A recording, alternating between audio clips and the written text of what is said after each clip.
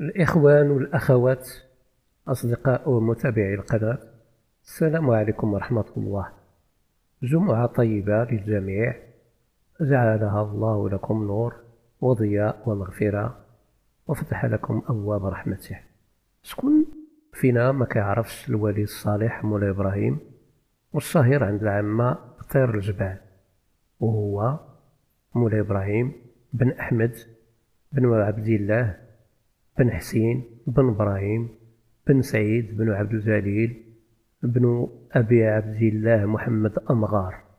من الشرفاء الأمغاريين نشأ في بيئة صوفية بمنطقة طمسلوحت اللي أسسها جدو مولاي عبد الله بن حسين بتوجيه من شيخو مولاي عبد الله مولاي عبد الله الغني والمعروف بمول القصور أحد الرجالات السبعة ملي تعرف السر ديال مولاي إبراهيم وتوسموا فيه الناس الخير تجمعوا عليه واختار الزاوية ديالو بمنطقة جبلية اسمها كيك وهي اللي كتسمى بالاسم ديالو الآن واللي كتبعد على مدينة مراكش بحوالي خمسين كيلومتر. ولقبوه بطير الجبال حيث كان كيعيش في هذه المنطقة الجبلية بوحدو. كان ليه زوج ديال البنات. صالحات. الأولى لاله محلة. كانت عالمة بالفقه وبالفرائض والحديث واللغة والنحو.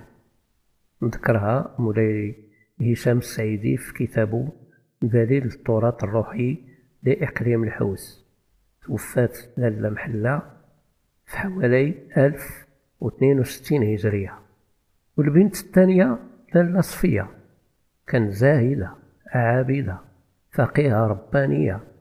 وكتقول الرواية الشفهية أنها كانت على قدر من الجمال توفات في حياة الوالد ديالها ودفنت قرب زاويته بمكان معروف بمقبرة لاله صفية المصدر كتاب شجرة الزيتون النورانية لصاحبه مولاي أحمد ماماد الأمغري أحبائي حتى نتلاقاو في حلقة قادمة إن شاء الله تعالى. فضلا منكم. دعموا قناتكم بالاشتراك ووضع لايك. أصدق التحيات.